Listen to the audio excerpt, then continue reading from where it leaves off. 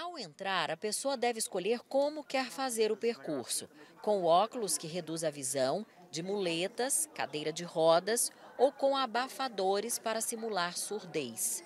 Vivenciar as dificuldades dos deficientes no dia a dia nos faz perceber o quanto a cidade ainda precisa evoluir em acessibilidade. Principalmente calçadas, as calçadas no, no, setor central, por exemplo, tem muita calçada danificada e o proprietário não conserta, ele não refaz e as pessoas que têm problema de mobilidade vão ter muita dificuldade se eles não refazerem. E a questão do piso tático, né? Tem, isso aqui virou lei, mas muitos lugares não tem. Sem conseguir enxergar um palmo à frente, a Daniela é conduzida com a ajuda de um monitor e pensou em quantas vezes deixou de ajudar um cego com dificuldade de se locomover. A gente não tem noção do que a gente está vendo, a gente simplesmente não consegue ver nada, então eu realmente fiquei perdida. As crianças também vivem a experiência e nesta estação aprendem Libras. O que, vocês aprenderam hoje? O vocês avião. Como é que é o avião? Olha, muito bem. E oi? Como é que fala oi? Oi. Oi. Obrigada. Como é que faz? Obrigada. Obrigada. Tá certo? Obrigada. Muito bem. O que mais que vocês aprenderam? É dinossauro. Dinossauro? Onda. Onda? Onda é assim? Muito bem. Bom, eu que enxergo muito bem, graças a Deus, vou aqui experimentar a, a experiência de não enxergar nada. Mas...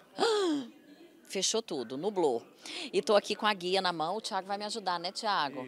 Olha, você sabe que a gente até fecha o olho aqui, porque já que não enxerga mesmo. Aí vamos aqui, o piso tátil, né? As bolinhas são sinal de alerta. E esse aqui é que eu posso seguir, né? Vou seguir. Ai, dá um medo. Aqui tem mais bolinha.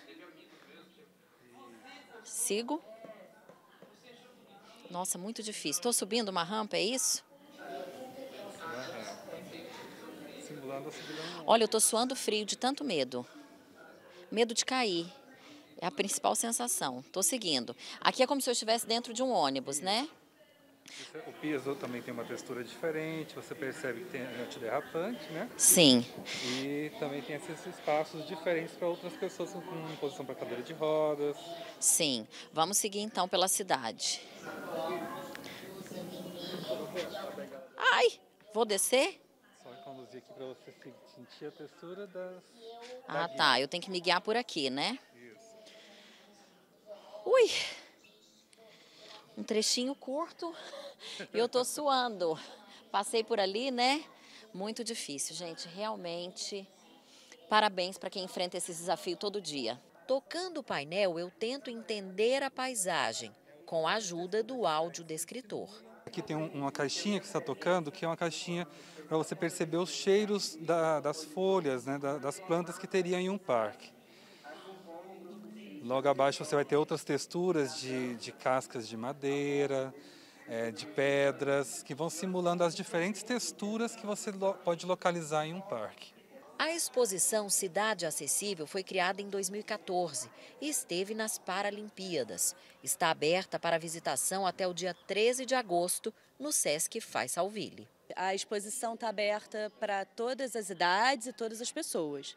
Então, as crianças, jovens, adolescentes, todo mundo está convidado para vir à exposição.